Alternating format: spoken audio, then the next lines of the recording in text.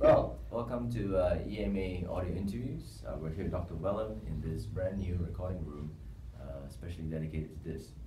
Dr. Wellum is Professor of Christian Theology at the Southern Baptist Theological Seminary and editor of the Southern Baptist Journal of Theology. And uh, you've written many articles. How many books have you written total? Uh, well, with my colleague, we've just put the one book together, but then edited, other, contributed other edited works. And then in terms of contributions to books, how many have you done so far? Um, yeah, I'd have to- Countless? have to add them up. No, not countless, no, uh, maybe uh, six, seven or something like that. Okay, and uh, some of them are, uh, you wrote one on Beyond Bounds, Open Theism, and Undermining of Biblical Christianity. We'll ask you about that later. Okay. Reclaiming the Center, Confronting Evangelical Accommodation in Postmodern Times.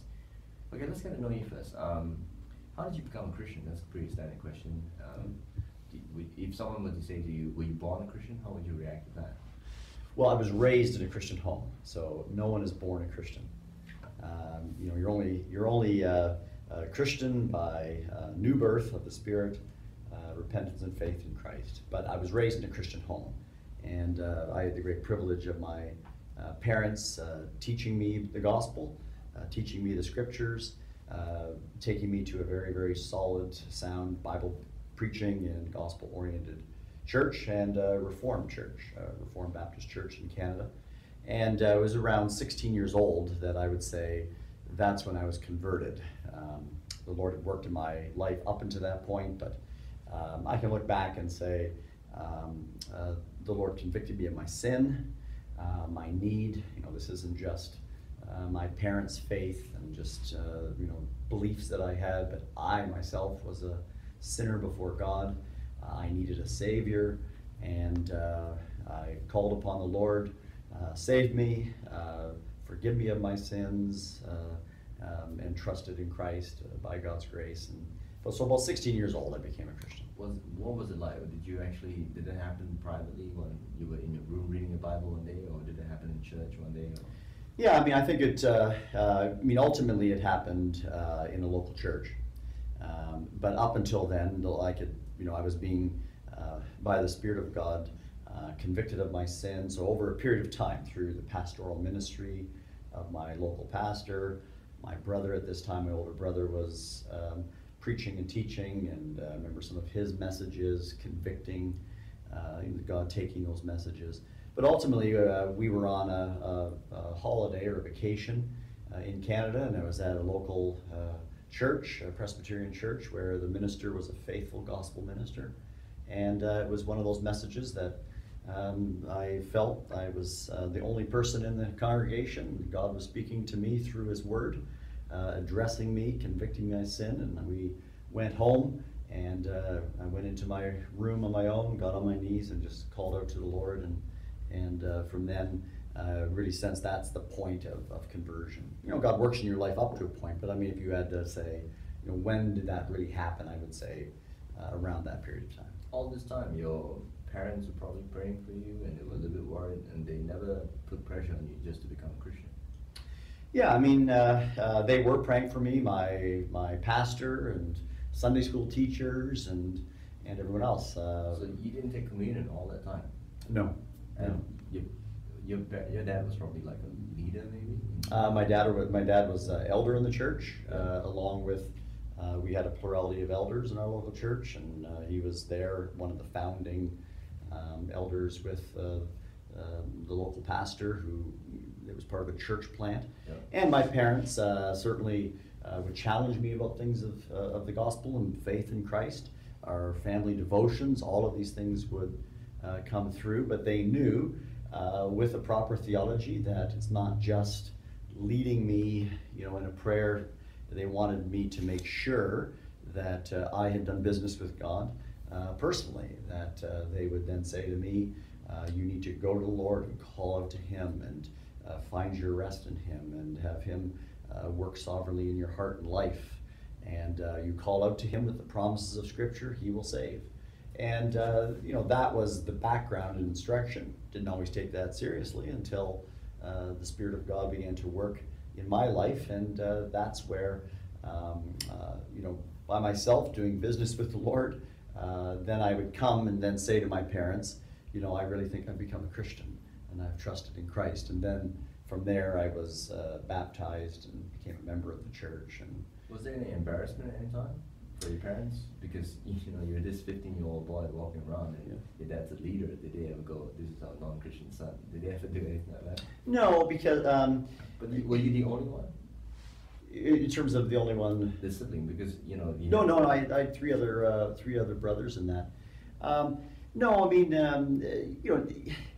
Uh, But the, the older brother was already a. Well, my, old- my older brother, I was the, I was the youngest of four, right? And the other three were. And uh, the other, I mean, the older one was uh, was converted. He was converted at the end of high school, um, and uh, the other two, I think, had. Uh, well, the other two uh, had not professed faith yet. I uh, see. Um, but I mean, there was not uh, a sense that okay, at five years old, you you know, this person's now a Christian, right? I mean, they knew that the Lord worked individually in people's lives. Their responsibility was to pray, teach, preach, uh, ful- you know, pray, uh, lead me to um, uh, the church where the scripture would be taught. So all this time, you weren't allowed to skip church, I suppose. Did you ever want to? Oh yeah, sure. Did you, did you say, I'm not a Christian, why should I have to go to church?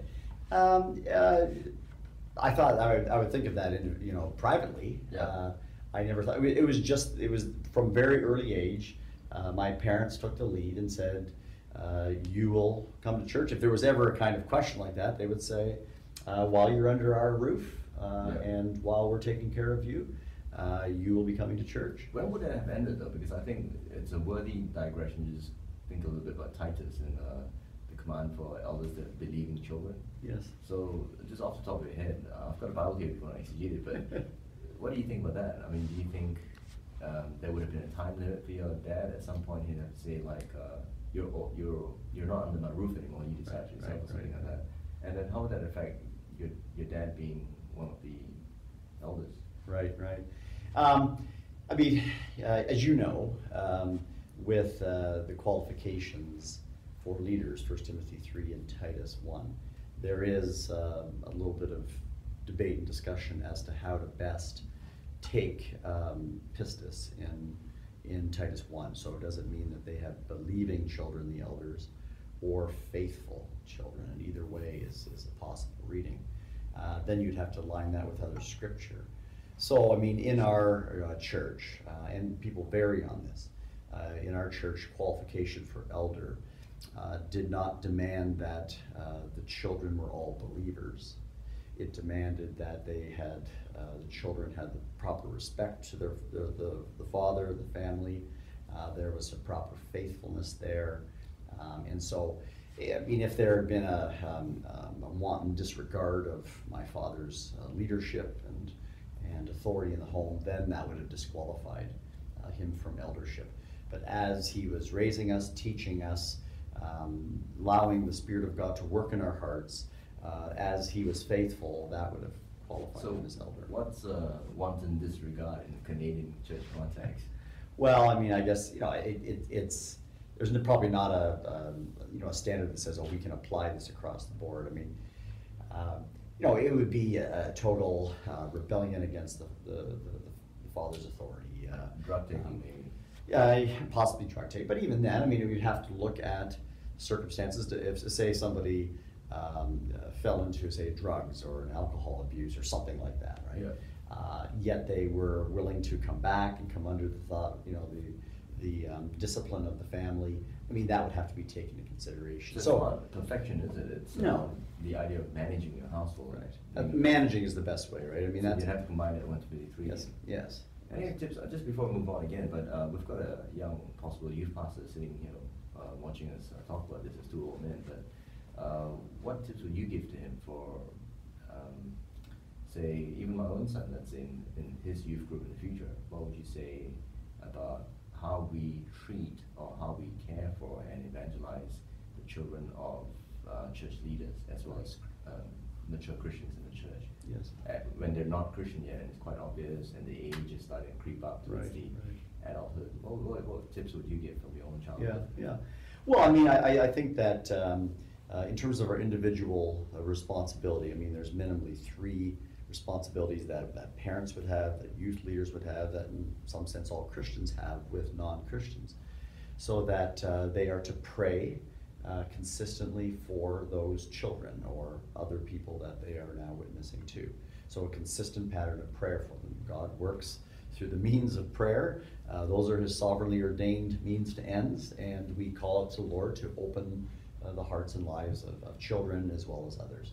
And then a faithful uh, preaching of the gospel to them. Uh, we never assume, right, until they do profess faith, that they are automatically uh, in the church and covenant children and this type of thing. They need to personally come to the point where they repent and believe so that we then uh, teach them the Word of God, but we also preach the gospel to them, uh, call them to repentance and faith, and then live a life before them that is consistent with the gospel, so they can't look at our lives and then say, um, you know, that's scandalous, or they're hypocrites, or as we then fail, even in terms of our, our Christian life, we then go and we, we ask for forgiveness. We show that we are still um, uh, growing in grace, that they see in us a transparency and uh, of children of, of, Christian leaders and that. I mean, uh, uh, they're not treated differently than anyone else, but uh, they are exhorted to believe. They know, you know, you're uh, constantly working with them, praying with them, ministering to them, and that would be the tips that uh, that I had from my childhood. Um, not putting.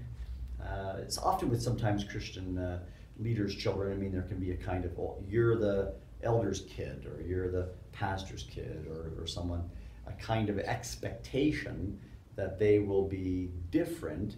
Yet if there's they're not converted, I mean we that expectation is is uh, not a legitimate expectation, right? So there should be uh, an encouragement to be uh, honoring their father and mother, obedience to their parents as the parents lead according to Scripture, and uh, and then praying and, and teaching and preaching the gospel to them. But it shows that there is kind of like an interesting category there, isn't it? Because with 1 Corinthians, Paul will say we can't judge the outsider because he's, I mean, what do I have to do judging the outsider? So there's a non-Christian uh, sense where, there's a sense where the non-Christian is non-Christian.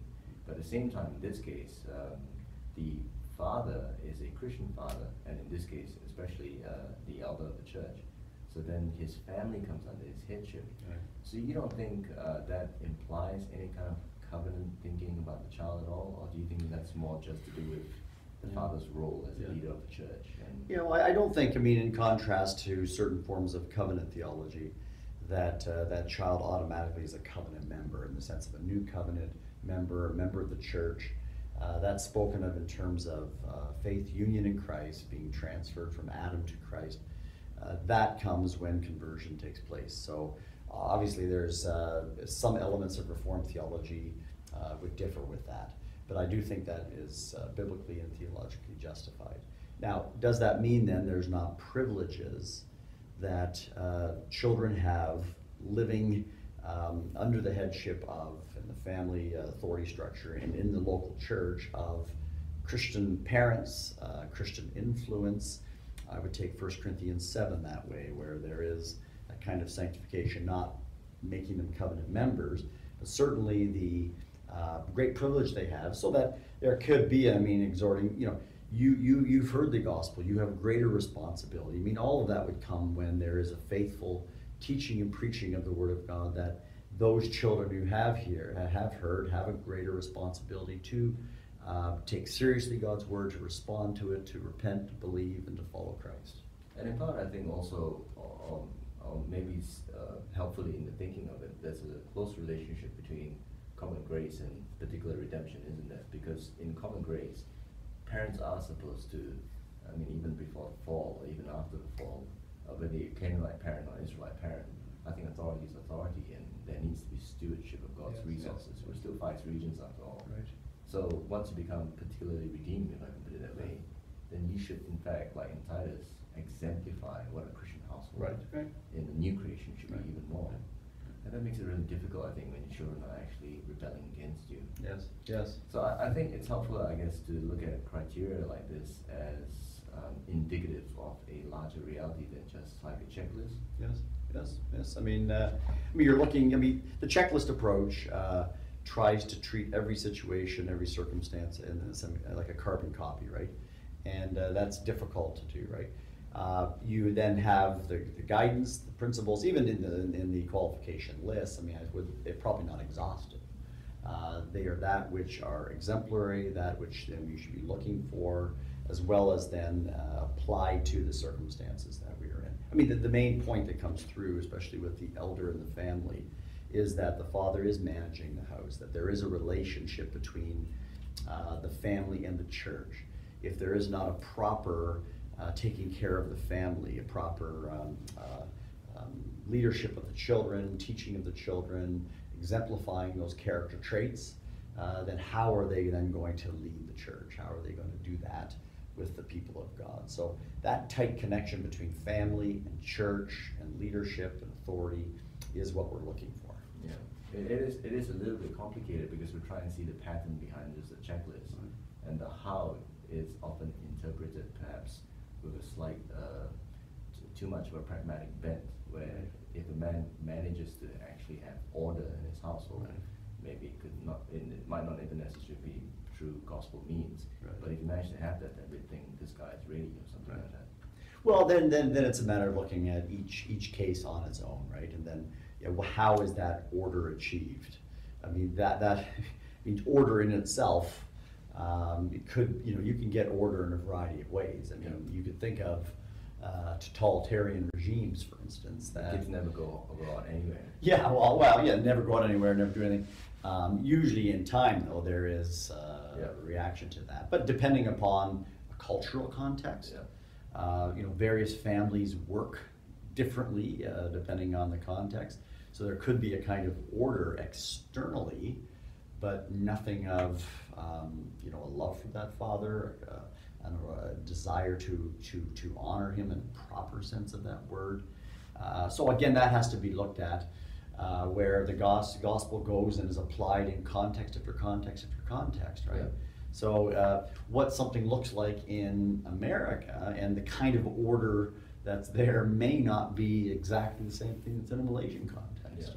So just very theoretically then, I guess we could say you might have a very good elder who has five children who are actually all unbelievers, even past adulthood. And then you might have an elder that's actually not so good, but all of his children are churchgoers, let's say. It's possible. It, it is possible. It is possible, and there's where you'd have to. Uh, I mean, there's there's there's careful wisdom and discernment that has to take place Yeah. uh, when when that uh, when all of that is applied, right? And that's why uh, there's wisdom that the church needs in choosing elders, putting people in place, uh, looking at a whole package. Uh, you, you know, you think of the qualifications as well. I mean, it's possible to have your family in order and your neighbors, Yeah. uh, non-Christian neighbors, to think you're just terrible. Uh, but that's part of a kind of whole package too. So it's not just in the home; it's it's how you're at work or in the world, uh, and and that requires investigation as well, which often we don't often we don't do. Very high standards for being an elder. Yeah. But uh, just to mention, but we won't go into it now because I'm not sure, uh, we won't have time for it anyway, but just to mention it, I think that makes assessment of single men a little bit difficult. I mean, you know, Mhm. John Stott, uh, Dick Lucas, many of these great guys were elders and they were, didn't, they were never married. So trying to work out how they would have managed a household in Yes, relevance yes, to yes, the yeah. church, that's difficult. Yeah. And then, you know, the other issue is, um, if you apprentice someone when they're nineteen, and they go off to theological seminary, you spend a million bucks on them or something, and they're still not married, and they don't have kids yet, and then they get married, they're still taking another ten years before you find out what they're like as fathers. So, it's worth thinking about, you know, how do we actually do that? And Yeah. by the way, that's one reason why I think the Brethren Church wisely, um, I'm not sure how explicit this is in their thinking, but they, they often don't make people elders until they're way in their forties, Yeah. maybe fifties, Yeah. yeah. Yeah, I mean, there's again, there's there's probably a, a balance to it. I mean, I mean, uh, not to throw a wrench in the in, in the mix, but you know, you think of the uh, qualification in First Timothy three that they're not to be a recent convert, Yeah.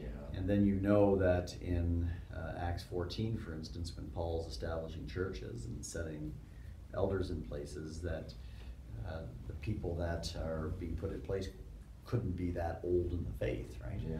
Um, so again, you know, you know, there, there's where, uh, how, what, what's the context, what's the maturity, uh, what's, how's that local church functioning? Uh, so you have the qualifications and they have to be very, very carefully and wisely applied. Yeah. Well, that's that's great. I mean, I wish we could talk more about that, but let's continue with a bit on um, where about yourself. Um, can you tell us a little bit about how you moved from being becoming a Christian uh, into full time paid ministry? Do you call Yes. it that in Canada? Yeah, I mean, uh, um, What do you- oft, often it is. I mean, we try to avoid those terms in the sense of creating a kind of um, uh, here's a kind of clergy class lady. Yeah. I mean, we have enough uh, hard work of trying to convey to uh, reformationally minded and biblically minded Christians that all of life is to be lived for the glory of God. All of life, that Yeah. anything you do is a vocation. Yet, uh, the calling of Christian ministry is a high calling. So you use the word calling then? Yeah, well, I mean, uh, full-time uh, Christian ministry and paid ministry is a term that's always used. But I mean, you, you're trying to make sure that people Yeah. don't have the wrong, you know, wrong. The trouble idea. is, we're all called to ministry. That's right. In fact, it's square one. That's right. And then from uh, my Sydney background, we do often call it um, full-time paid ministry Yes. to differentiate between those who have the privilege of actually Yes. not having to labor at so-called secular work. Yeah. Uh, what happened for you? How did you? Well, um, uh, shortly after my conversion, um, at, at 16, I mean, at that point in time, uh, I'm beginning to wonder, um, okay, where am I going in the next number of years, right? I mean, that's just part of where I'm at in the stage of life. And now that as a Christian, um, you know, growing, learning, um, uh, reading my Bible, uh, starting to read, uh, you know, Christian literature, theology, um, you know, things about my Christian life, and just starting to grow. I mean, um, then saying, Lord, where do you want me to serve? Uh, how are you going to use my my life? Uh, what's my future hold?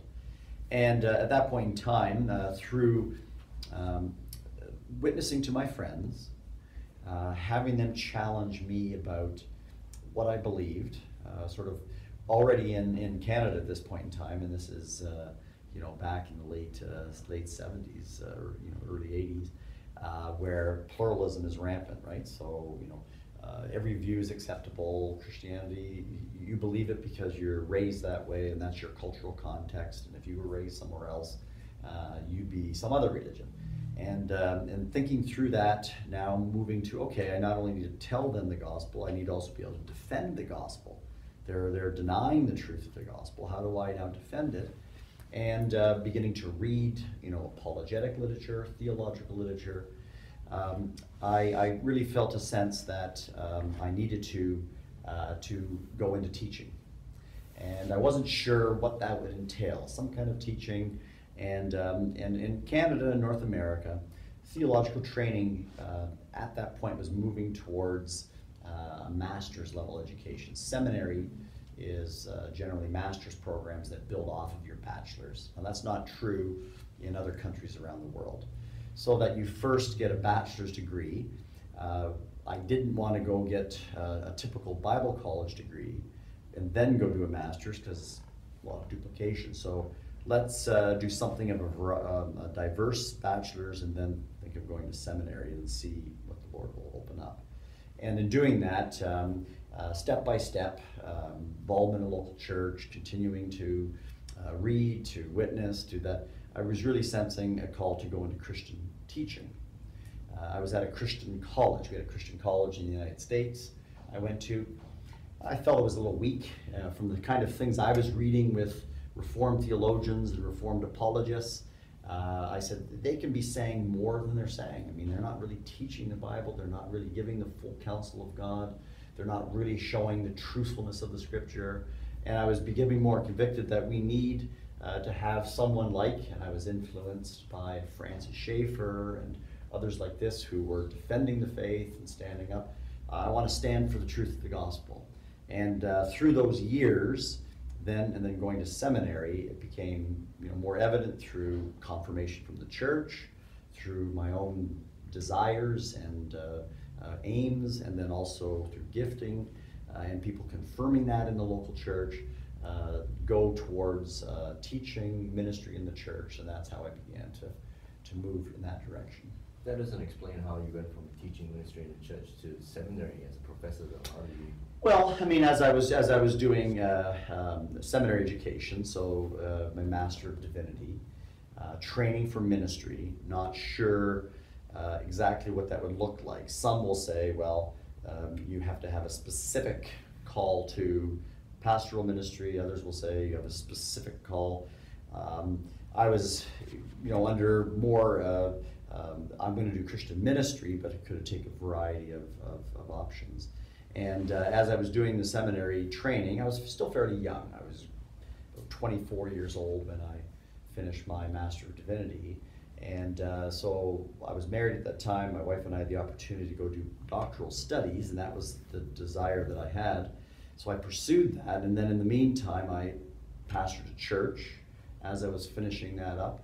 And those together um, uh, was giving me a sense of uh, what the Lord was doing in my life in terms of pastoral ministry. Um, uh, I was first desirous of doing teaching, but after going to the church, I felt, no, this is what I was going to do. And then a job opened up in teaching, and I was torn and uh, basically um, felt at that time as I went and interviewed that I would do this temporarily. Um, and uh, they needed some help. I would try to serve. And since then, the Lord has kept me in that teaching field, even though I serve as an a pastor, associate pastor.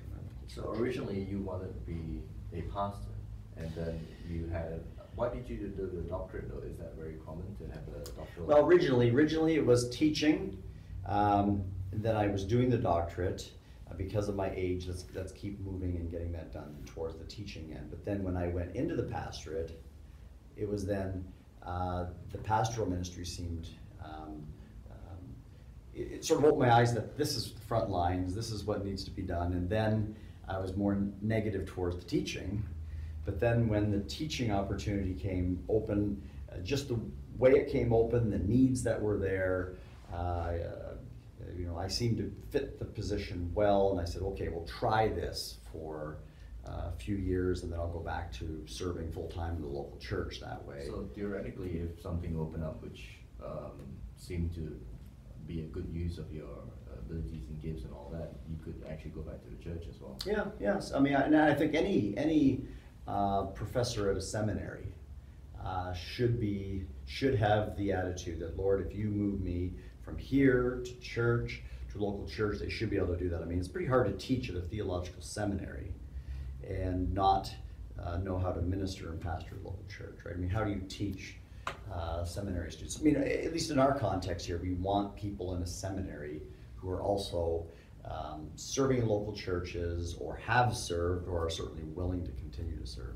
But we've all heard of the seminary as a, like an ivory tower, and you know some professors prefer to um, deal with books than people. So couldn't couldn't they be just good at that, and then we would use them for that particular ability, say Hebrew or something? Yeah, yeah. I mean, a seminary, I mean, just as you know, if you, if you if you draw the analogy between a church and and then because a seminary is an arm of the church, right? Uh, the church has uh, is one body and is comprised of, of, many many body parts that are all necessary to have it function well. Well, that kind of analogy, of course, in a seminary, you can't make everybody in the seminary exactly the same. There's different giftings, there's different specializations. All of it is necessary to help train future pastors to serve the church.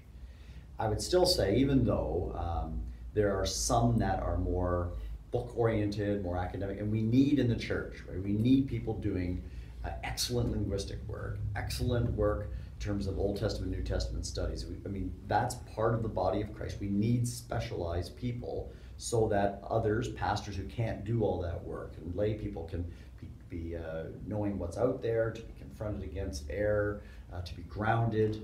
Um, and uh, we then need generalists in the seminary. We need a whole variety of people. Yet, even then, I think there has to be a heart uh, in these, even the specialists for the local church. I mean, the local church is where is the front lines, it's where God's work is invested, it's where the gospel is spreading. The seminary is only an arm of the church, right? So, all seminary professors need to be ones who are committed to their local churches, who serve in that, even though they may have gifts that specialize, that we need that as the church. We invest in people like that in terms of the church. But if we get too many like that, then eventually uh, it's a disconnect from the local church. So it's a diversity that uh, is well explained in, in the metaphor of the body 1 Corinthians yeah. 12, right? So it's a diversity that exists, um, in fact, to build up that unity. So the specialist needs to be specialized and Yeah. therefore quite um, boffin, like you know how the English talk about technical boffins, but they need to be quite specialized in order to do their job well. But if they don't have, uh, they're not actually purposeful in trying to love the church in their specialization, they probably end up uh, not loving the church because That's right, and it, and it also, I mean, um, uh, um, teaching is, um, uh, is more than just, you know, passing on content. It's, it's, it's role modeling to people. unless it's just Hebrew grammar, right? Yeah, well, even then, you're, you're, you're modeling, uh, you know, your love for uh, the languages and your love for the scriptures, right? Mm, I mean. I mean, there's still a modeling that goes on, and, and But if, there could be a place, do you think, for a non-Christian Hebrew professor in a seminary? Just, just, you know, like a Jewish Yeah. rabbi who just who really just at knows the language the and all that. He's just an expert at Qumran, and do you think, what do you think? Um, yeah, I mean, uh, I mean, the ideal obviously would find an expert who's a Wow. who's a Christian in that. So I mean, you'd have to. Who also does youth evangelism no, but you'd have to look at the at the circumstances that pertain. If you had nobody else that was specialized that could do that, of course, then for a temporary Okay. kind of thing. But I mean, I think a seminary, um, the professors need to be models to the students in a variety of ways, right? Okay, but let's say, uh, just pretend Stephen Wellum, uh, the principal or the dean who hires, I don't know American seminaries work, but you've got one guy who is Christian, um, his Hebrew is great, but uh, you've got another guy, non-Christian, he is the best in the world, the best in the world, and you bring him in, uh, all the other evangelical colleges will turn green in envy because everyone's been gushing about his work for the last ten years. Who do you choose? Um, I I would choose uh, the one who knows Hebrew well, but is the Christian. But Okay. I, I would. I mean, I, because I think we are. Uh, the seminary is is preparing people for the church, and even Okay. then, you can get that specialization. I mean, again, um, there may be ways of incorporating what that guy does, but uh, Well, let's make it difficult, and I'll readily admit hypotheticals are quite silly sometimes, but let's just get our brains thinking here. The guy who actually is okay, uh, quite good at Hebrew, who's a Christian, okay, let's change that. His Hebrew is not so good actually. So now your choice is between the guy who's technically inept, well, kind of inept, and the other guy is fantastic, but one's Christian, one's not Christian. In fact, in presidential elections, sometimes it's a little bit similar, isn't it? Yes, but you know, maybe you're exactly right. And, and, and in presidential elections, you have to always for the lesser of two evils. Well, yeah, let's, let's, let's not talk about. But yeah, no, I know, I know. I Let's know, I just know. think about this hypothetical for a seminary, Right. because that's much more, much clearer. Well, I mean, uh, you know, the hypothetical is an interesting one. Most seminaries would never allow it uh, in terms of the structure because Even a liberal one? Oh, well, uh, you know, a liberal one, but in terms of evangelical, like where in my context, in terms of the Southern Baptist schools, you, all professors would have to be able to sign the statement of faith. Okay, just, well, signing at least is the formal, uh, expression. Well, I mean, signing it, agreeing to it, Yeah, yeah. teaching, But it's at uh, least a formal- accordance and not contrary It's a to. formal expression of an inner understanding supposedly, based on the past. Okay, so I guess you'd be one of those who would say, um, non-Christians should not be part of the music team in church. Yeah, I mean, well, in a local church setting, uh, Yeah. yeah, I mean, I wouldn't be uh, hiring people to come in and do your performance for you. I mean, that comes from the body. Oh no no, let's say their girlfriend is in church and they're Christian, they're not Christians yet maybe, and their girlfriend's Christian and she sings and they want to drum for her because they're in the band together or something like that. You'd say no. You know, these are good. Uh, this is why you're the pastor and I'm the. Uh... No no, you just told us that you're the theologian and you've got to be pastorate, pastorally minded as well. So I'm just asking you're, Yeah, no, you know, great at learning to tell to tell you honestly, I mean, I haven't, uh, I haven't It's come very across that. I It's actually very across that. common here. In Okay, fact, yeah. um, here it's not only that; it's actually an evangelistic um, strategy, I suppose, that you actually invite the non-Christian Oh. to serve the body of Christ, and that way he becomes, uh, he or she may become so-called acclimatized Okay, and okay. even more connected to the body. So it's like you know, if you want to graft in a new finger after you had the thing chopped off, you graft it in, and someone else's Yeah. finger, but over time, I, become. I, I, in, in, in my uh, uh, living in Canada and now in the United States, I mean, I've, I haven't known of any circumstances where that's ever arisen. So that's why I sort of, um, know, I'd, I'd have to think about that. Well, we, we're short in supply, so if Yeah. somebody can drum well, we'll be. Yeah, no, I would have to think about it. I mean, I mean, the way the way it's described, I mean, it's a possible uh, possible scenario here. Yeah. Um, yeah, you wouldn't be making them obviously a member of the church. You wouldn't be trying to be, give them false uh, ideas of what they're doing, and and so on. But um, yeah, those are those are, are scenarios that Yeah, so would arise in different contexts. It would depend on partly on the role, I would think. Yeah. I mean, if he offered, I often tell the guys in, the, um, in the church I'm at, uh, if he offers to help pick up some chairs, don't say, no, non-Christian should. Oh, well, yeah, well, that's true. Then is that principle different. carry through? But Yeah, if he offered to give the sermon this Sunday, that probably would not be a, that's probably a no. Right, Yeah. right. So are there any positions in seminary where you'd say, I know you're gonna say all of them, but obviously the janitor isn't necessarily Christian. Right, So right. what positions would you say like absolutely no, the person has to be Christian and not only that, fervently Christian and a good uh, pastor's heart as well, Right, cares for the right. of the. Well, I mean, again, in, in some of the things that you're raising would be, uh, we haven't, in our context, we've been always able to find people uh, where those scenarios haven't been necessary. Sure, right? but theology, would you say, would be something where you'd wanna have all, the whole family? Oh, I, well, I would say, I mean, again, in, in the ideal world, I would think all the faculty uh, that are teaching um, the, the, the languages to, to the biblical studies, to theological studies. Ideally. Yeah, I mean, they're Christians. yeah. Admin staff? Yeah, I mean, again, as, as, as a seminary, I mean, I, I would wanna, you know, I mean, because we are, uh, we are a reflection of the church, right? Yeah. We're an arm of the church. Uh, But I guess you, you know, if, if, if there's nobody available, then you'd have to start wrestling with, okay, do we bring a business guy in? But even the business guy, I mean, what kind of values does he, does he have? How is he going to make those decisions? I mean, Yeah. you eventually have to say, somebody would have to be over him to say, this is how we're gonna do this as Christians and, and these are the values we have, right? So it's, it's pretty hard. I mean, how would you, um, you, you fit with the sort of the unequally yoked? I mean, that, that certainly applies to marriage.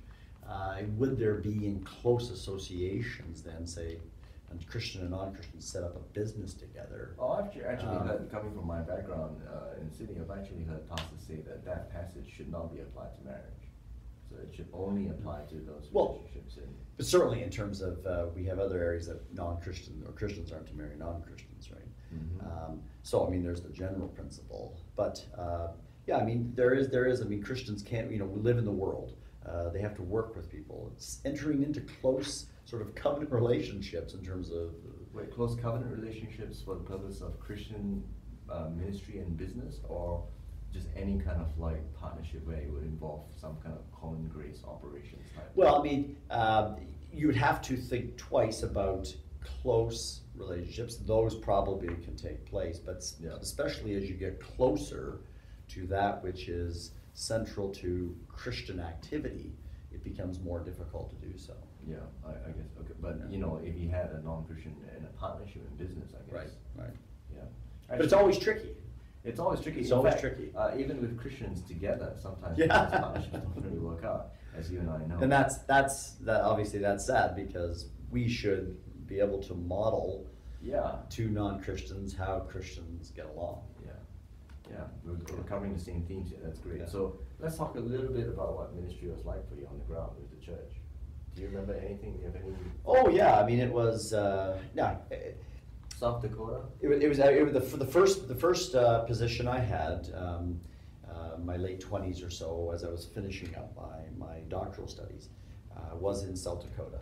Uh, South Dakota is, uh, basically in the prairie region Okay. of the United States. Um, it's, uh, it has its own beauty, but it's just very wide open land, farmland, very few in terms of population. So you're talking, um, you know, a state that uh, you can drive, um, you know, 110 kilometers an hour for eight hours, and you get across the state. And How did they find you? yeah, well, I mean, it was, it was tied to the seminary. It was part of the Evangelical Free Church of America.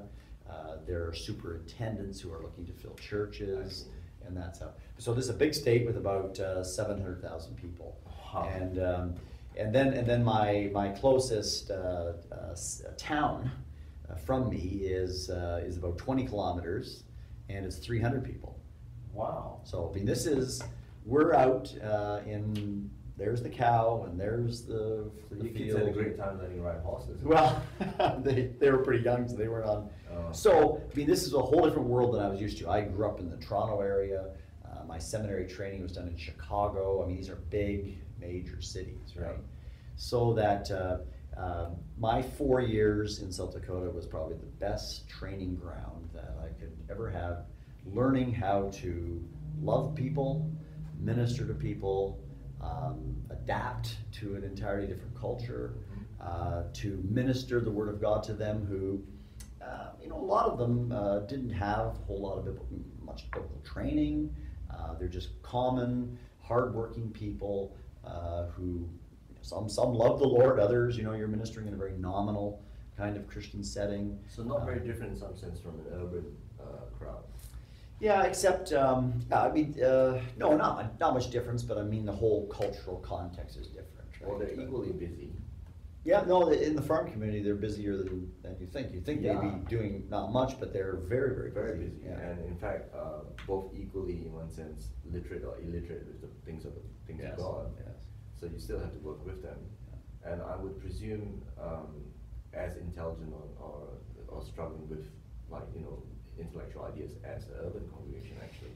Yeah, I mean, every, every, I mean, wherever you find, I mean, everyone struggles with issues. They may not verbalize them and say, but I mean, everyone's wrestling with some issue or form or, or, and have their own struggles, right? So learning how to minister God's word to them. Uh, learning, well, one of the great things that um, uh, I, I found really, really helpful was, was is going after the youth, right? Okay. Um, uh, some of the, the adults, I mean, they were, you know, wanting to, to learn to a certain point, but I mean, they've lived their lives, they're, they're comfortable with what they're doing, they're in the routine, but it's the youth who are uh, the next generation. So I devote, devoted a lot of my time to um, those high school, uh, sort of the beginning college age, uh, trying to train up another generation in those rural communities, because those rural communities, uh, a lot of people move out of them right? So uh, as they grow up, they're gone. Uh, there was a lot of single uh, young men there because um, uh, they have to stay and run the farms. Yep. And uh, the women go and they get married and never come back. So they're an interesting community, right? And trying to get uh, you know biblical literacy, theological grounding, gospel preaching. We were we were centered around. I mean, even though there were a lot of churches in the area in the sense of relative to the population, right? It was a it was a churched area in the sense that everyone identified with Christianity, and that happens in the United States. Yet uh, the churches were not solid churches. Oh. So we had uh, a great opportunity to be ones who you know opened up the Bible and taught it and preached it and worked through uh, the whole counsel of God. And so that was exciting for four years to see the growth take place and to see um, you know some change, especially in the young in that. Okay, well, one thing people often say with regards to uh, more rural communities, though, is that they don't suffer the diseases of the uh, urban intellectual environment. So you've written on postmodernism, or you at least you've spoken on it before. Do you think rural people are less susceptible to postmodernism or postmodern thinking? Yeah, well, I would say no, uh, especially in the kind of world we live in now. Uh, the amount of exposure that they would have would probably be maybe less because you know in the urban setting, I mean, it's everywhere. But uh, they are getting the internet. They're watching Hollywood. Uh, they're getting all of the social, cultural influences coming to them. Uh, they are being educated in the school system. The school system is being driven by um, not Christian people, it's being driven by non Christian people. So it's inescapable whether you're in an urban setting or rural setting, those same ideas permeate.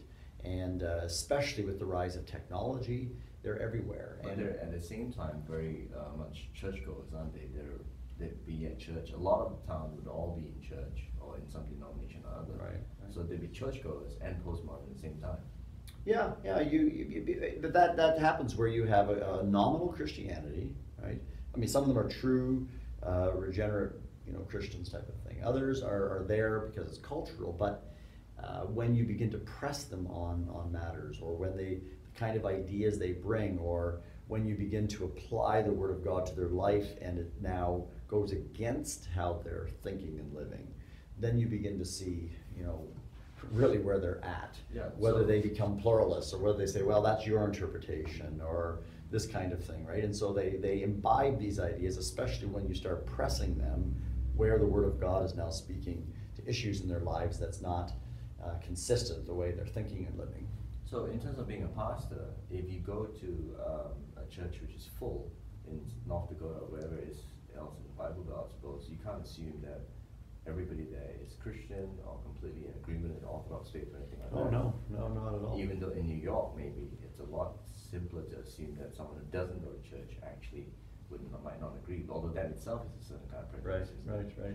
Well, I mean, I, I mean, th- there's challenges, right? I mean, in, in the uh, more nominal, in the Bible Belt kind of thing, in some sense, the challenges can be more frustrating Oh, uh, because you have people who affirm the Bible, but then don't necessarily believe it, or when it's taught, if they're not truly converted and love the Word of God, they then rebel against it or get rid of you. I mean, especially in the in the in the rural communities, right? I mean, pastors come and go, right?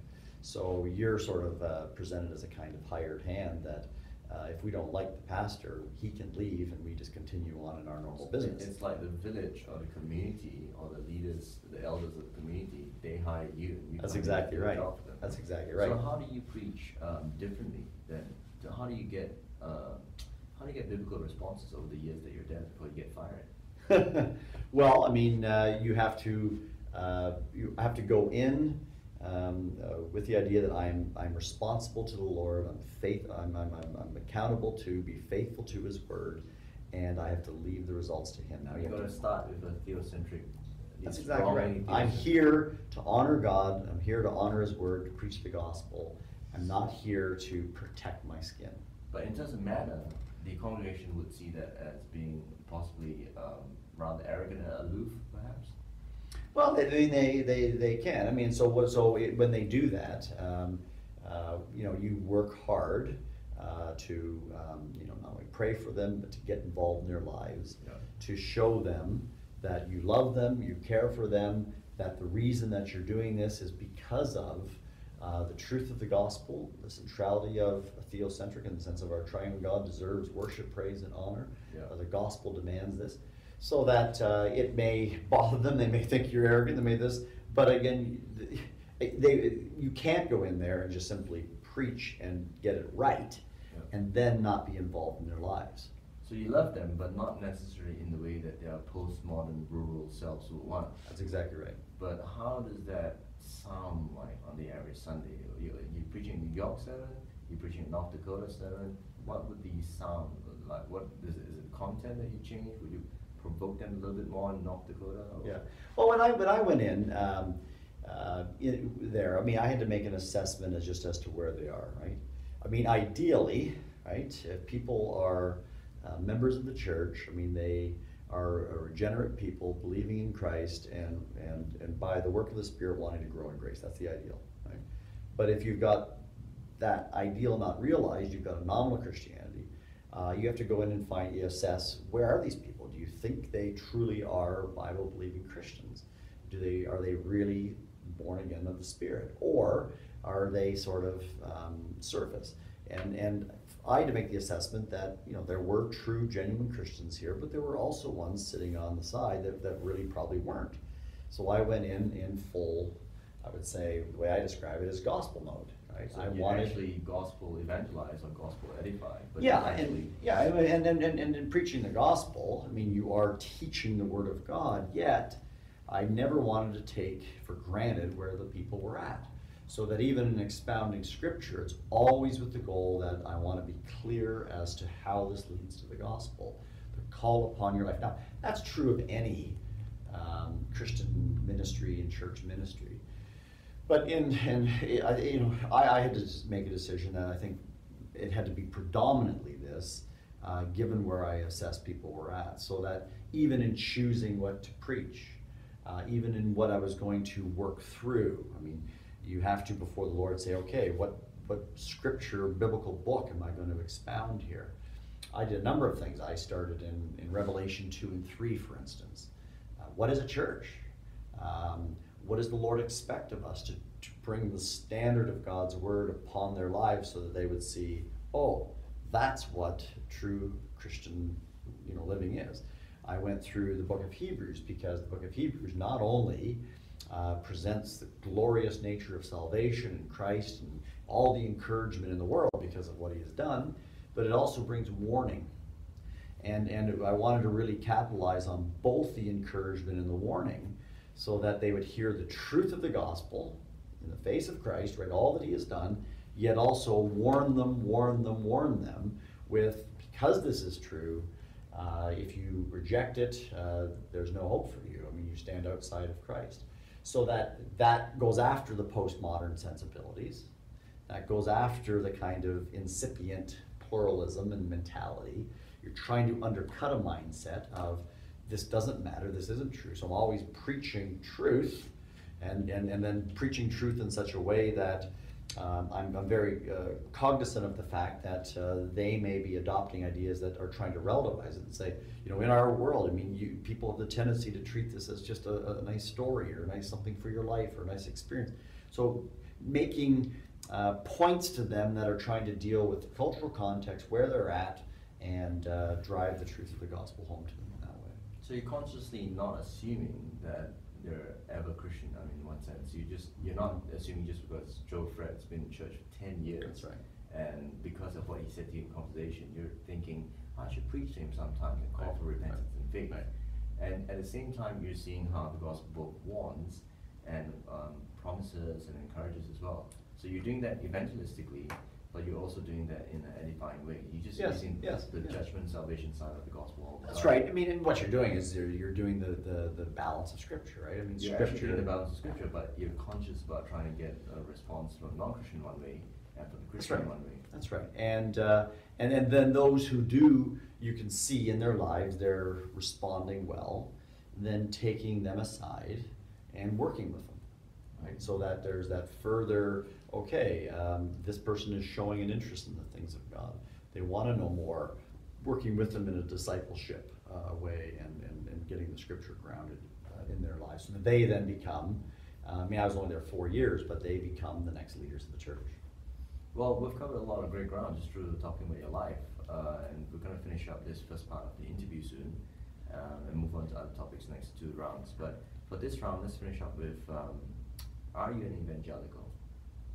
Uh, yes, if, well, um, depending on what means by that, uh, that's yes. Um, I, gue- I guess your hesitancy has to do with also the uh, context of what that word means in the Right, States. right. And also perhaps you're not too sure what evangelical means here. Well, I mean, my hesitancy is, is that, I mean, evangelical, um, and, and that's true, I mean, I have to think of other contexts. I'm thinking, in my context, evangelical has been a word that has carried a lot of uh, strength, a lot of uh, substance, meaning, and so on. Unfortunately, today it doesn't carry that. So that's, that's the hesitation. I want to keep the word in its historic, uh, you know, orthodox sense of it, not in some of the ways it's used in not only in, in, in my country and I'm sure in Malaysia as well. Well, let's go back to what it originally meant. Who, who created this term? Um, why do we, you know, you do get questions like this in Malaysia. We're already Christian. Why do we, we have to be Christian evangelical? It just seems so Right, right. um, extraneous and odd. Yeah. So who made it? Who made up this term? Why? Well, I mean, evangelical has has a long root to it. I mean, ultimately, it goes back to the good news, the gospel, right? Uh, in the Reformation, I mean, uh, Protestants uh, were viewed as evangelical. Well, so it's synonymous. Yeah, I mean, it- so, so way back, I mean, you basically had, and we still have in the United States, a whole liberal denomination that calls themselves the Evangelical Lutheran Church of so America, that's which a means Protestant. situation. So- Evangelical doesn't mean Yeah, anything. yeah, so evangelical can, I mean, has historically taken on that notion of Protestant gospel believing that. Now, in, in the more current context, which is what we're really talking about, uh, and I think that's come over to uh, Malaysia as well. I could be wrong on all the history of that, but in, in, in North America, I mean, from Europe to North America, I mean, it really came in the context of the fight against liberalism. Okay. so that uh, you have your you know major churches you have coming out of Europe Anglicanism and Youth Lutheranism coming out of the Reformation but um, over time particularly in the 19th century I mean much of that goes liberal. And they begin to liberal would be you know they, they take the bible in one hand and then they take whatever's in contemporary culture experience thought. They try to wed it together and uh, when you wed it together what gets lost is the authority of the bible right and that's the way i define liberalism and there can be a variety of, of spectrum of that you know some better some worse But anyone that tries to correlate uh, the Bible with the contemporary culture and then the Bible gets lost, that's how I would define, define liberalism. And, and as that got worse, I mean, you then have uh, the denial of historic Christianity, then, and particularly Protestant Reformed Christianity. We're talking not so much about the Catholic, I mean, that's now happened in terms of the Protestant Reformation. So uh, the great truths of the faith are being denied the, the authority of the Bible, its authority, inerrancy, infallibility, uh, the deity of Christ. Uh, the doctrine of the Trinity is undermined in the 19th century uh, substitutionary atonement, original sin, bodily resurrection. I mean, all of these great truths, so that uh, there's a stand against that, which, uh, interestingly, it is the, is, is, is the idea of the fundamentals, right? Where you get fundamentalism, but that's taken a whole different connotation today. But those who stood for Orthodox, historic, Protestant, and really most of it was Reformed Christianity, Reformed in the sense of coming out of the Reformation and the great traditions of Calvin, Luther, and so on. So originally, it was used by Luther and I guess his uh, cohort to explain themselves as historic Christianity against Roman Catholicism. Yes, yes, yes. And then later, in the American European context with liberalism, it was used again Yes, yes. to explain itself against um, non-God honoring Bible authority Right, right. upholding Christianity or, or kind of Christianity. Yeah. And therefore, it's always meant um, twice now, evangelical equals to biblical Orthodox Christian faith that the reformers found out and established. Yes, now uh, evangelicalism has also put under it, you know, some of the, I mean, um, those who hold to the historic Protestant Reformed confessions, but then there are some divisions within it of sort of a Reformed Calvinistic view, and then even Arminians would put them under the label of, of evangelical. But historically, I mean, it's those who come out of the Reformation, Orthodox theology, uh, it's fight against liberalism, and then the third sort of variation of it, in at least America, was uh, then somewhat of a reaction against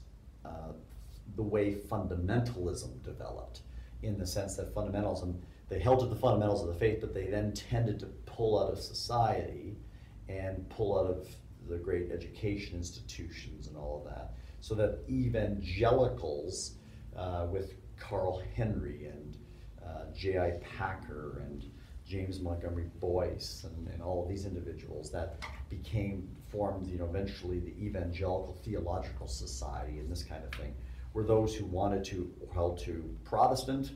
Um, most of them were all Reformed, uh, Orthodox, against liberalism, but also that which would engage uh, the society, engage um, the, the, you know, you have proper education, training, which is really going back to what the church has always done.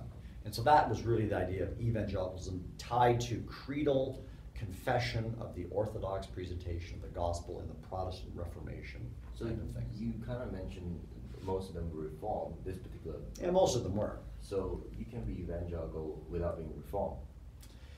Yes, I mean, maybe that's the way, uh, you know, people are using the term now, but, but um, most of those who formed, say, the Evangelical Theological Society were much more, in terms of their doctrinal commitments, much more in terms of Reformed theology. I mean, this is why we had, eh, say, just in the Evangelical Theological Society as, as of recent days, uh, we had a debate with open theism that is hyper Arminianism, even, it's not even Arminian in the sense, sense that it denies that God foreknows uh, from eternity are free actions. That's not even Arminianism. Yeah. Uh, they were within the evangelical wing, and uh, the problem was is that the Evangelical Theological Society uh, didn't provide statements of faith to e- to keep that kind of aberrant theology out.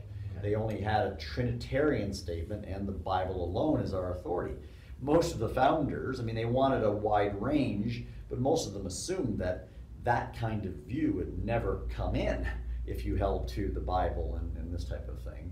Uh, but uh, over time, the term gets stretched, aberrant theology occurs. People who are denying substitutionary atonement are now seen as evangelical when no evangelical ever did that.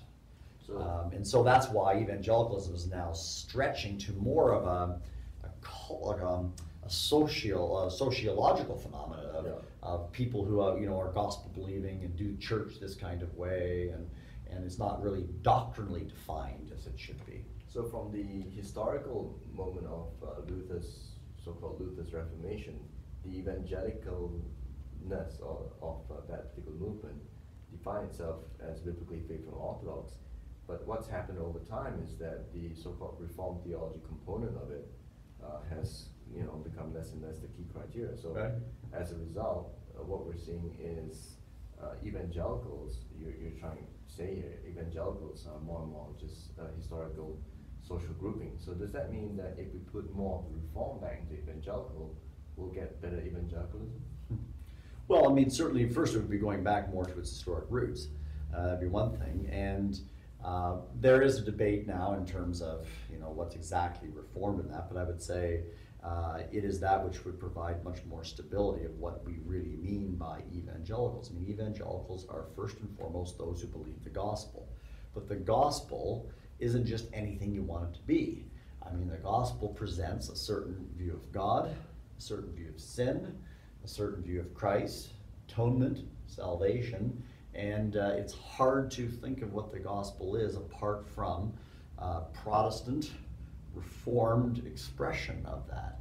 Now, I know there can be variation within that, and somebody can still say, I'm, um, you know, I'm an Orthodox Christian and I'm an evangelical Christian and everything else. But once you stray too far, evangelicalism looks pretty amorphic and it takes on forms that certainly wasn't what happened uh, historically, and it's not that which leads to the health and vitality of the movement. So at the heart of any movement and any attempt of trying to define whether individuals are evangelical or whether a group is evangelical or a church, at the heart of any of that is a theological understanding of Yes, the yeah. Faith. Yeah, yeah. Well, I mean, evangelicalism needs to be defined theologically. It doesn't need to be defined sociologically. There may be sociological details, but it needs to be defined theologically. This is what an evangelical is. So that, that means we should privilege if there was, say, uh, how do I even put this, sociologically, a Roman Catholic pastor, pre, priest, uh, a Roman Catholic pastor who had, who held the Reformed faith and as a result got a lot of trouble for it, we should privilege him with the uh, term evangelical.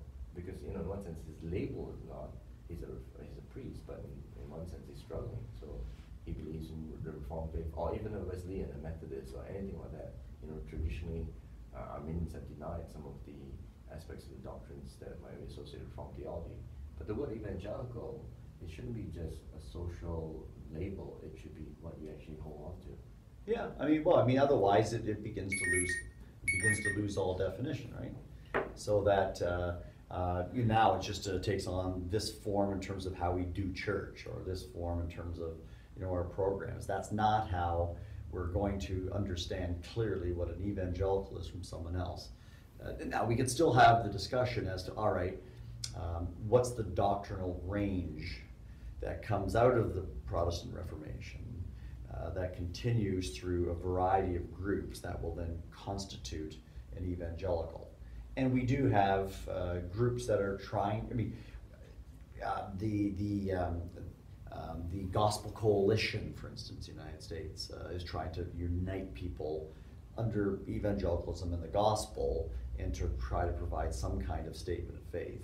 Uh, they're trying to allow for some, you know, some allowances so that uh, there can be some differences on certain matters, but on the core essential doctrines, uh, that this is what makes an evangelical, this is what makes a historic Christian, this is what it means to be, you know, tied to the faith once delivered to the saints. So you would say that in, even in talking about the gospel as the heart of the movement or any movement, you'd end up just bringing back a lot of good Reformed theology back into that definition anyway, right?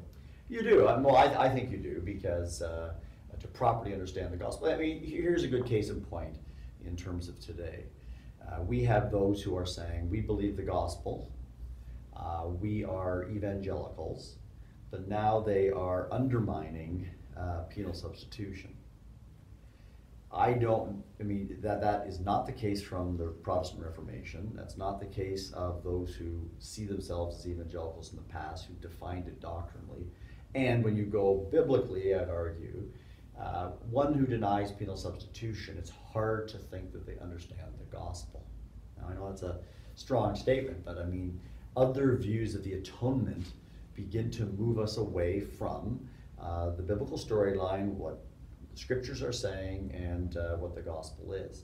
So that if we um, don't define it in terms of set doctrinal areas, that this is what the Bible teaches, this is what uh, is theologically accurate, and we then say, well, you can hold a variety of views of the atonement, we will not be holding to the gospel. But J.I. Packer would argue that Arminians don't really understand the gospel as well. Yeah. And they've got, in fact, a different gospel. Yeah. And so that would make them uh, not in reform, but by virtue of what you've said so far, that will also make them not evangelical. Right, right. But we've just also said at the same time that in one sense, uh, open theism, which has come from uh, kind of like a hyper Arminianism, that's really coming from a even worse move than traditional Arminians. Because Right. traditionally Yes, Arminians yes. at least tried to maybe at least pay lip service, at least you know, Soli Deo Gloria, Right. the reform Right. mark, right? Right. So they've been a lot more orthodox in that sense. So but how would you then, how would we work with anyone?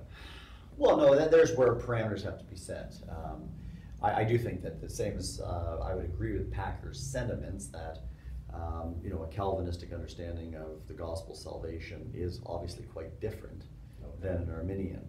Uh, at the same time, we know with Packer and his experience, I mean, he's willing to say um, Arminians are part of evangelicalism, right? So that there is, um, there, there, there's, and this is the hard line. I mean, the hard line is to know how far the range goes, what transgresses the boundaries. I mean, that's why, uh, you know, we, you know, I was part of a book on renewing the center, right? I mean, what is the center? What what is how far can you go and, and, and, and you eventually are no longer an evangelical, right? And, uh, and so so there can be a discussion on that. I mean, what what millennial view will make you an evangelical, or is that even an issue? And some want to make it an issue, and I would not make it an issue. But I think you know, you mentioned open theism. I mean, open theism, uh, in my mind, uh, you know, it's one thing to debate about Arminianism. It's another thing to debate about open theism. Open theism uh, has so many theological entailments that you know your doctrine of God is is is, is fractured. Your view of sin. I don't know any open theist that holds to penal substitution.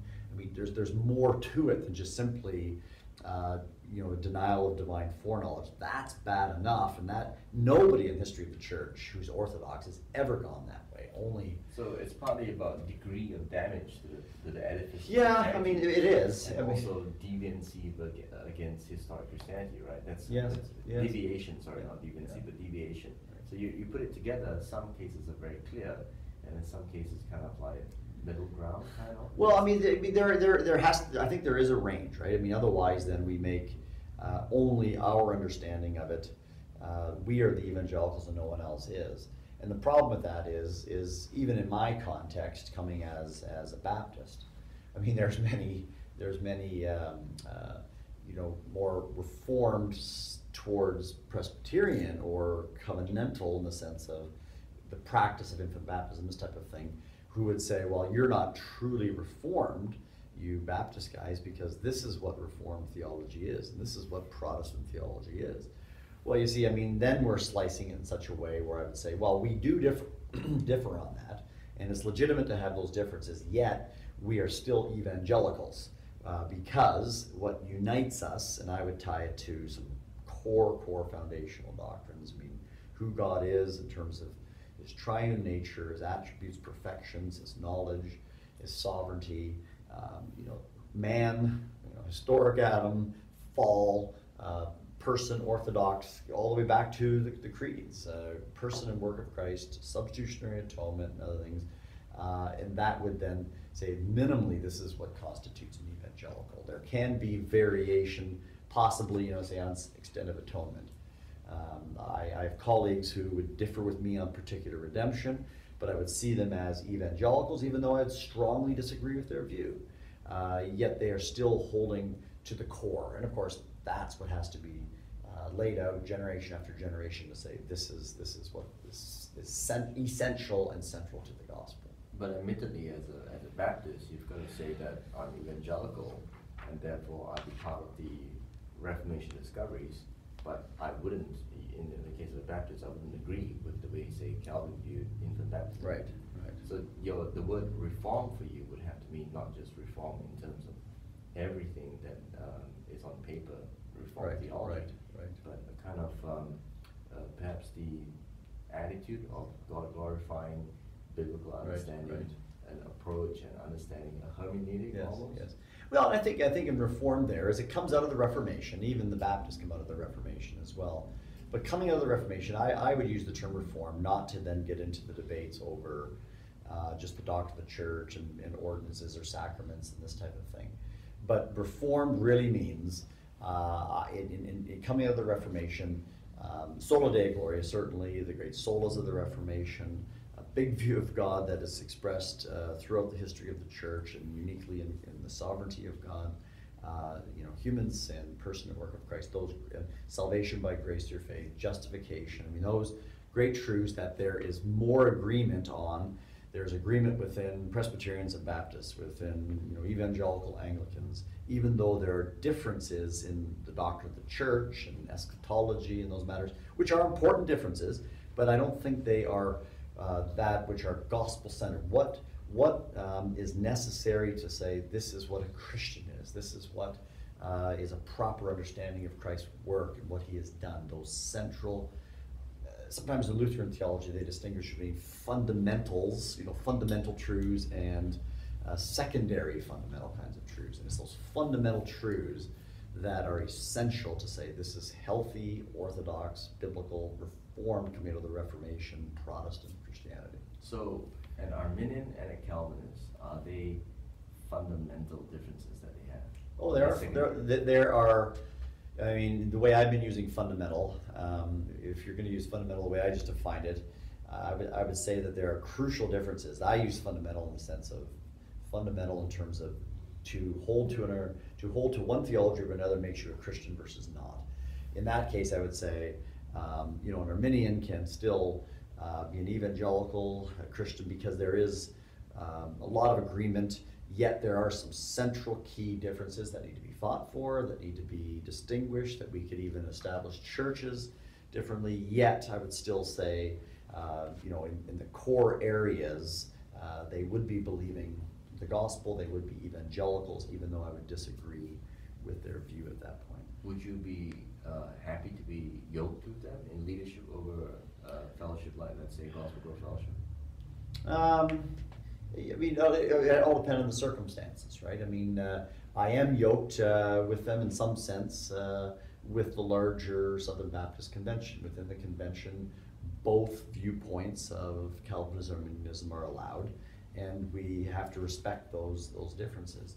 Yet we can also, as local churches, establish churches that uh, move in one direction over the other, right? So it all depends That would on have to be because of the polity, right?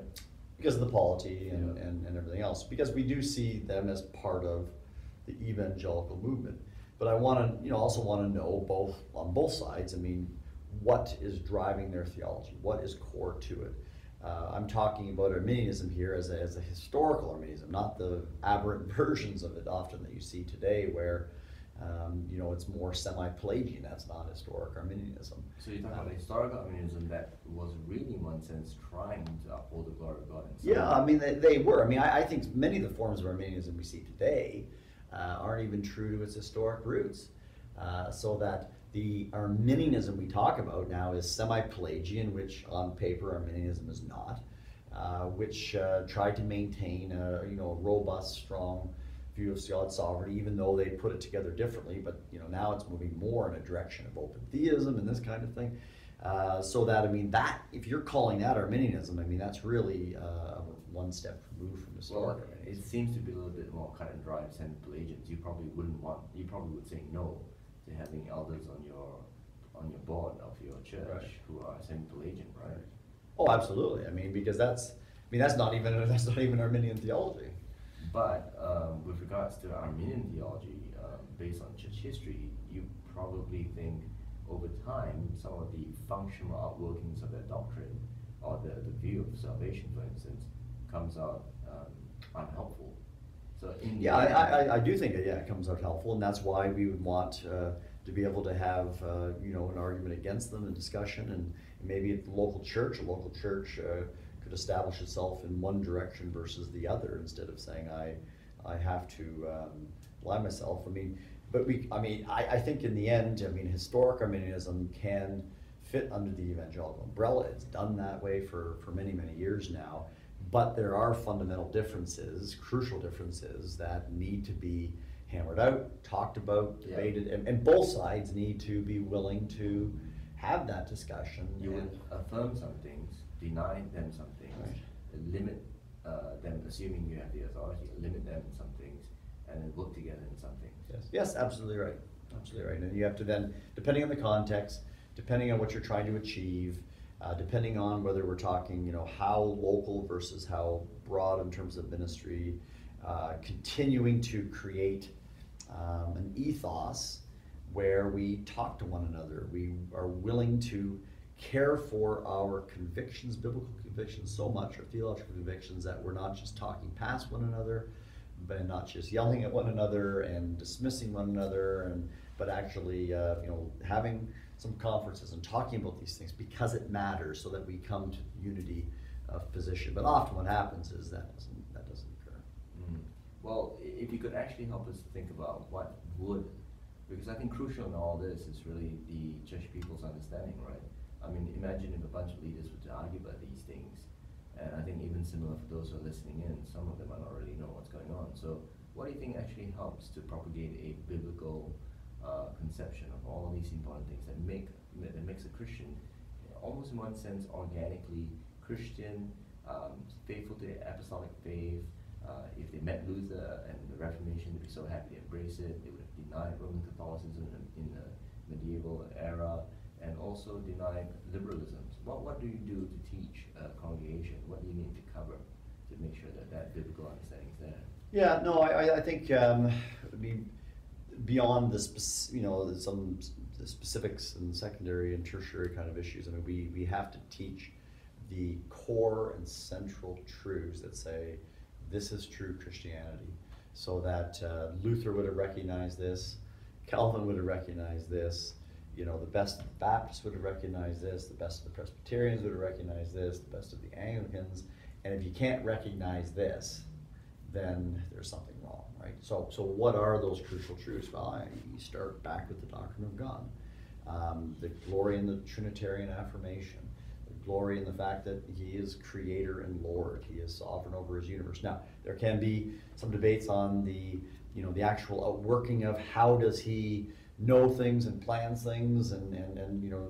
Uh, is it um, um, you know more of a Calvinistic form view? But still, there's still even with the historic Arminianism, there's a desire to say God is Lord of His universe. Uh, he's he's not uh, taking risks. Uh, he's not limiting himself in this kind of thing. Um, you know, a proper understanding of, of, of sin, even with Arminian theology, uh, with sin, there's still a, a total depravity. I mean, they're emphasizing that sin's effects are serious, so that uh, whether you talk to Luther, Calvin, and others that come in a variety of denominations, I mean, they're still saying our sin is so bad before God, I mean, only God can save. Um, and salvation is of the Lord. Uh, you know, even the best Arminian theology, they're going to differ with us on how they do that, but they're going to say God must initiate. God must give His grace, right? And so there's certain things that we do have in common, uh, even though the differences are there. That you know, through the ages, they would be able to say, "Yeah, I, I can recognize that. That's that's what the gospel is. That's what uh, uh, the Bible is teaching on these matters." Even though some of the specific nuances of it can go directions that are serious directions. I'm not wanting to minimize that. I'm not saying put them aside. Um, yet there are certain cores that, you know, whatever the percentage would be, I mean, we're agreeing 90% of it uh, versus the, the 10% differences. So there's a certain pattern to the kind of teaching you're giving as a pastor to the church, and that might include also, I suppose, manner and the way people think about the, um, their attitudes to God and how they would have Yeah. to uphold. So, but at the same time, under that, that um, overarching uh, position and Right. manner, there could also be intellectual, fertile discussion, disagreement, Right, perhaps, right. sometimes of um, doubt about the historic doctrines, Right. perhaps. Right. Yeah, I mean, if you think of attitude, I mean, you could you could boil it down in the most simplest way. What you must convey, which is true to the Bible, is a is a is a big and glorious view of God. Anything that minimizes a big and glorious view of God, we're going off track. Uh, you know, humans that are valuable, significant, Yet we are fallen and we cannot save ourselves. Yeah. Right? A glorious Savior who can meet our need, uh, the divine human Savior who is the incarnate one who's come, who, whose work is, is that which achieves our salvation, that uh, we are now declared just and righteous in Him. I mean, those great truths that that's what links the church through the ages. That's the gospel. Yeah. That attitude of now you could say, well, I I, I, I, I, wa- I have a big glorious view of God, but I just wonder how He's put two and two together here. And and those debates uh, are legitimate to have, and we have that discussion. But the mindset, the attitude of God-centeredness, Christ-centeredness, that's that's true Christianity. Yeah, so you would want to mimic the gospel's attitude to God, Jesus, the content of the Bible, and all that.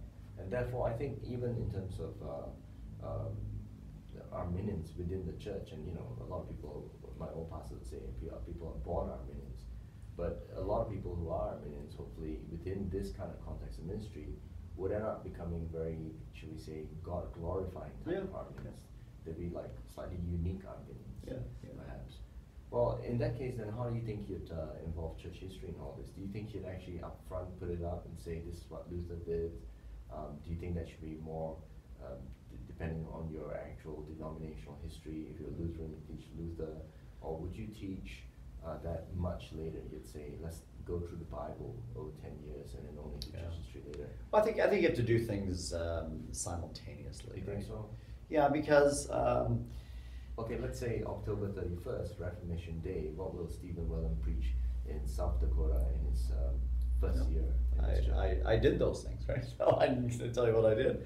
I mean, I, I did, a, you know, obviously a biblical message, but on Reformation Sunday, I preached about the Reformation, not just a historic sermon. My introduction uh, would have been a historic. Uh, this is what the Reformation is. This is what happened, and uh, I think, if I can remember correctly, my uh, my sermon came out of Isaiah 40. Okay. So that a big and glorious view of God. This is what the Reformation was all about. Uh, and then unpacked it that way. So uh, what I was doing on that day was a combination of here's our history. This is where we're, where we're from. This is why it's important. Uh, it- it- I don't care who you are, you have to know your history, right? I mean, and we stand on the shoulders of those who have gone before us. They challenge us, they correct us, uh, they inspire us, and all of that, and they set the, in some sense, the agenda for us. Yeah. Uh, yet, of course, obviously, we, we teach and preach the Word of God. So it's not one or the other, it's a both and. And, Yeah. And, and, you know, an ongoing ministry of the church, depending on how that takes place. What I tried to do was uh, we would have um, Sunday morning and we'd have a Sunday evening. I know not every church has that, right? Uh, but there's other times in the week you can do this. I made sure that the main gathering was biblical exposition. Okay. The other gatherings or so, I would then work through um, a systematic theology, a historical theology, um, uh, maybe some issues such as um, you know evangelism, worldview, those things.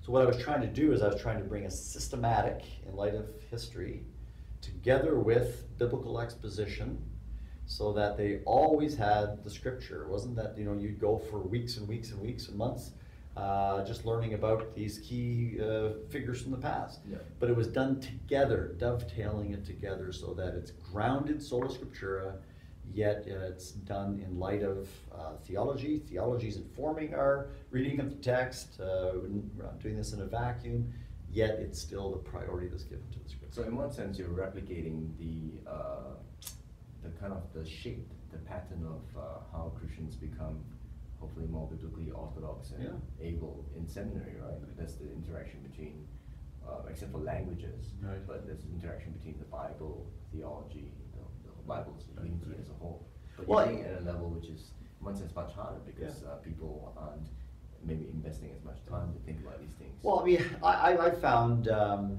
even my experience, right? Even if you give them the best of Bible exposition, depending on how that's done, I mean, the best of Bible exposition and even an application can come off um, like a commentary in some sense, right? I mean, you've learned about the book, you've even seen how it fits together, even tie it to the entire Bible, but uh, you have to help people uh, think through its application, how it connects to their lives, to theology, to to um, other other debates. I mean, you can. Um, You would uh, actually name a particular scholar or theologian or position when you go through the Bible. You'd say, "This so and so who's Arminian thinks this." You would actually say that. Um, depending upon where where that church was at in terms of their knowledge of things, right? Uh, over time, yes, as they were taught and trained. Yeah. Uh, initially, no, because they wouldn't know what I was talking about, right? But over a period of time, that's the case. But you know, so I'm going through Ephesians, um, working through the great doxological passage in chapter one. Uh, election is there. I mean, I'm going to stop and talk about some views of election. How you are. You're actually going to say Ar- Arminians think this by election. You're actually say that. I may not use their, depending on the congregation, I might not use their Arminians. I'll say some will speak of a conditional election. Okay. Now, as introduced uh, down the road in terms of theological, historical literacy, then those terms can be used, right? As opposed to just saying, "Isn't it wonderful that God has elected us?" Right. Yeah, uh, because you're not, yes, I, I, I, I I would say, here's a conditional, unconditional. The text here now is clearly moving in this unconditional. Which would therefore And- render certain position. That's right. Uh, and then this is the glory of it, right? And then even anticipating, but some will say then, um, you know, how is it, you know, it's not my fault, or, you know, how can a person be if they're not elect, uh, you know, how can my child be saved, or things like that. Try to anticipate and then tie it to the text itself, the logic of the text. But unless you do that, um, people will hear it's one sense what you're saying, but they won't see what it's over against. right? So it's a matter of um, kind of good teaching as well, right? That you need to clarify um, the nots and the yeses. Yeah, And trying to slowly help people to therefore clarify the yeses without imposing upon, without saying to them, you have, you can't debate about this. Right, You're saying, come back to me and then let's talk about it. Yeah, I mean, I think that is biblical sort of pedagogy, and that's also a wise way to teach, right? So people are clear as to what you are actually saying. I mean, in, in fact, uh, the person who drove this home to me was uh, Francis Schaeffer, uh, who died in 1984. I mean, on many of his lectures, he would say, if you want to communicate well to people, he says, you first have to say, this is what I don't mean. Yeah. And then you have to say, this is what I do mean, and this is what the truth is, and this is what it's not, right? And, you know, he would emphasize that in talking to people because unless you go through that and say, this, is- if you just say this is the truth and you don't set it over against sometimes error, they don't know how to discern and recognize. Now, part of scriptural's uh, responsibility upon leaders and elders is to be able to say this is the truth over against error. You know, have to you have, you have to be able to uh, to uh, go against the gainsayer and go against the false teacher. Well, you have to know what that false teaching is to be able to set it over against the truth. Otherwise, they're not clear, right? I mean, they think they have it, and then they hear the false thing, and they they they they should be able to say, "Oh, that I've already been warned against that." So it's reflected in the idea of a pattern of sound teaching. right? Yes. And Yeah. also, I think it's uh, that's also made me reflect on the fact that sometimes when people uh, aren't against something, but they're also not for what's sound, they end up actually being for what's not sound. Yes, I mean that's true, and uh, and a lot of times I think we we I mean again you know it's it's the attitude that you come, it's the the goal that you're trying to achieve. But sometimes we can say, well, let's just state the positive case. Mm. That's great, but then people can hear the positive case, and then amazingly, when they come across error, they don't realize that that positive case is the opposite of what they're hearing. Yeah, in fact, I've seen in uh, pastoral ministry that people are actually happier with those saying a positive case because they're not saying anything negative. So they're not for what's positive, they're just for the fact that it was positive. Yeah, yeah. Um, and that's, that's something quite uh, insidious for pastors. You know, we get quite perturbed by feedback that's negative, and it, it gets confusing. We think, oh, have we done something wrong? Well, I think I think of our confessions. I mean, I, I'm working uh, presently, just trying to finish up something on the on the person of Christ, and you go back to uh, the Chalcedonian or Chalcedonian statement, 451, and then you go back to the Nicene Constantinople statement. I mean, they're not just making statements; they're also um, you know saying what it's not. Uh, it's it, it, it's not this. It's not this. It's this, right? Because they are in those statements uh, standing against, uh, in the Christological statements, they're standing against the standard heresies. Yeah. Uh, and so when you read it, you recognize that heresy that's there. They don't name it because it's a confessional statement, but it's there, right? Uh, so that uh, when someone comes along and tries to teach that, the statement now says, no, that's not an acceptable pattern. It's similar to Synod of Dort, maybe they were doing the same thing. Yeah, and yeah, and often you have the affirmations and the negations, don't you? So do you think it's, uh, I haven't seen that too much in uh, confessional statements that have been written re- recently by modern evangelical institutions. Do you think there's anything behind that? Uh, There's probably a lot of wisdom in, in, in, in that. I mean, I know. Um, It certainly doubles length, the whole It statement. does level length. I mean, I know in some of the, uh, the inerrancy debates, uh, the Chicago Statement of Hermeneutics, they had the affirmations and negations and that to try to bring clarity. Uh, so there's, you can see them trying to employ that, right? Uh, in our own um, rewriting of, and updating of the Baptist Faith and Message, which is for the Southern Baptist Convention, uh, because open theism was, you know, coming large and hitting the fan type of thing. Uh, in the statement on omniscience, it wasn't just we believe that God knows uh, all things, but that had to be defined. He knows all things past, present, future, including the future free actions of human creatures. I mean, that had to be stated in there very, very explicitly because of these new tendencies. So, mean, when, eh, that's, that's one reason why doctrinal statements have to be constantly thought of. We may have to add something, we may have to revise something because new things. And they have to keep arise. getting longer because the, Yeah, well, you've covered a lot of stuff which uh, I also wanted to cover about growing evangelicals, because you know, Gospel Growth Fellowship has a, um, it's, it's some, uh, the tagline is that we're about a fellowship, we're a fellowship about growing evangelicalism. And I guess you've talked about how evangelicalism is a biblical faith, so essentially we'll need to make sure our pulpits and our work with people, uh, that should always be based on the biblical revelation. And we've also talked about how that leads to, or that part of that is a robust uh, reform theology. Is there anything else you want to cover about how we can grow evangelicalism besides making sure we also understand it historically? Yeah, yeah. I mean, I mean, uh, we, I think we have to think of growth, uh, I mean, first and foremost, in terms of teaching, preaching, instruction, um, you know, whole biblical theology leading to systematic theology, rooting it in the history of the church. I mean, that, all that work has to be done. Knowing the scriptures, knowing how to put it together, and knowing how to apply it and set it over against the views that are there, right? I mean, So making sure that, uh, that growth is seen in real terms. Right, the real terms. So there's, there's the real content, doctrine, truth. Now, growing also, um, you know, it cannot, it's not just, you, you could theoretically grow very, you know, I know the truth, I can recognize everything, um, I can smell a heresy a mile away or a kilometer or two kilometers away or something like that.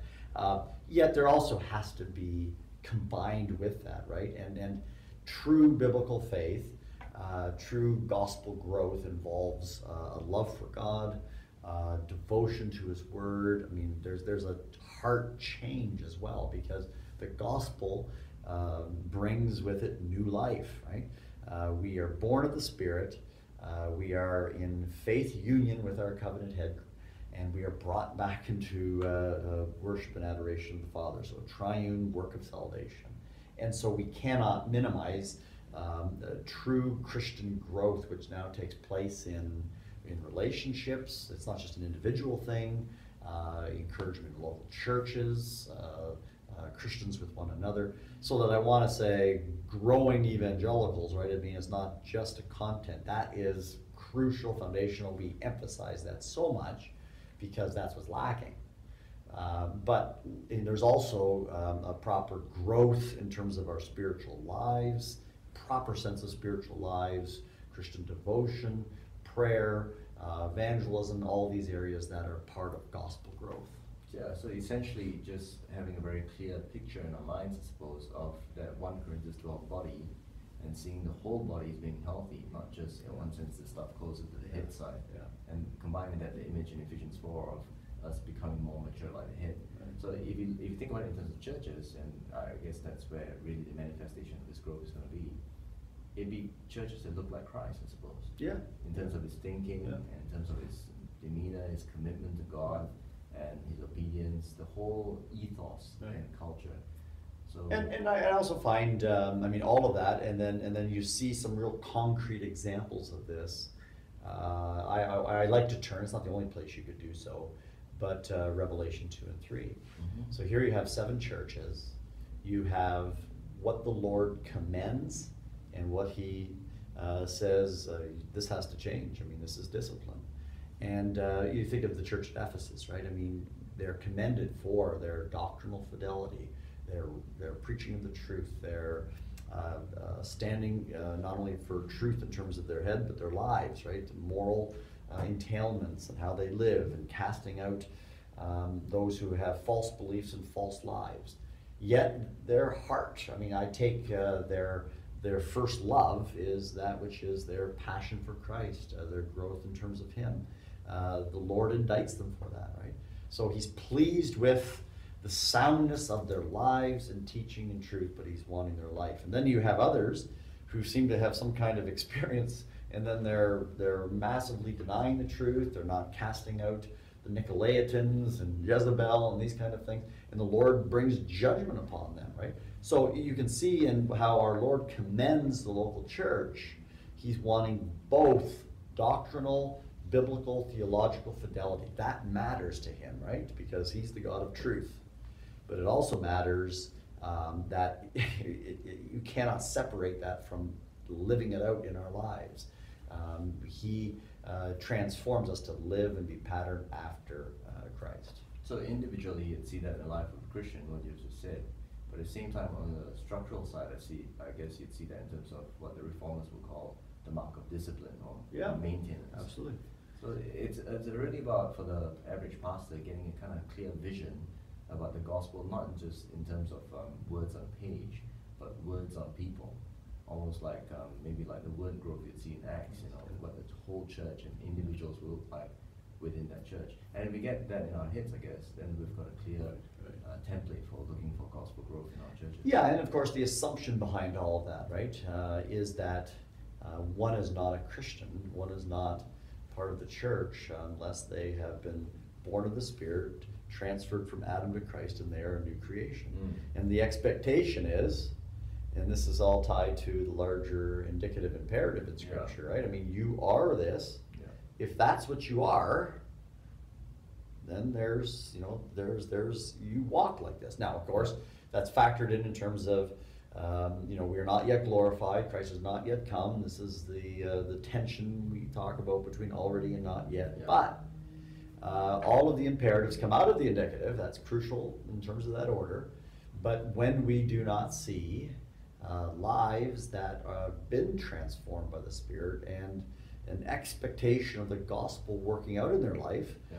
That is where warning, I mean, uh, exhortation, um, rebuke, I mean, all of these things that then come, and that's the proper sense of discipline.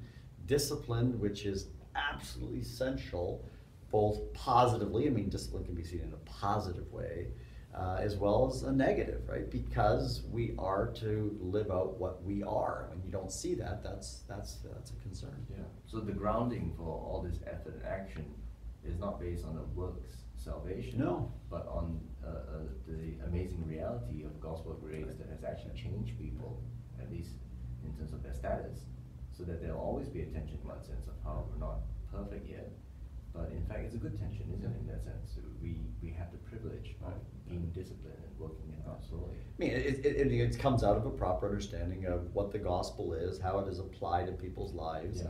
And it's really a false then understanding of somehow you can have the gospel and, uh, you know, not true Christians or something. I mean, how does that work? I mean, that, Or a gospel where it's like a done deal because Yeah. of the work on the cross and we're all, it's, it's finished in that sense. but then there's no application, right? In the sense, I mean, we are, because we are, uh, in, in terms of the application of Christ's work to us, we are brought into a living faith union with our covenant head. That's not just merely a kind of uh, impersonal relation. I mean, that is that which is born of the Spirit, living union. I mean, it, it, it's legal in the sense that uh, His righteousness is ours, uh, yet it's also a living relationship. But admittedly, this can be a little bit difficult to explain to people, so sometimes it may sound like, uh, it sounds like works oriented. Yes, yes, yeah. Well, when people uh, love to throw out the legalism and love to throw out the works orientation, where uh, we then start saying, um, you claim to be a Christian, uh, the Bible would say, and we have to be very careful that we don't impose our own expectations on them, right? Um, but uh, this is what the Bible would say you look like. And when you don't see that, we then warn them. They think, oh, well, you're imposing works on me. Well, that's that's a completely misunderstanding of the Christian life, its our relationship to Christ as our Lord and Savior, and, and so there's a misunderstanding of the gospel and its full Yeah. uh, application effects. On that note, uh, thanks very much. It was a great first part of the interview. So we'll see you around for the next part, which will cover churches and uh, issues in theology.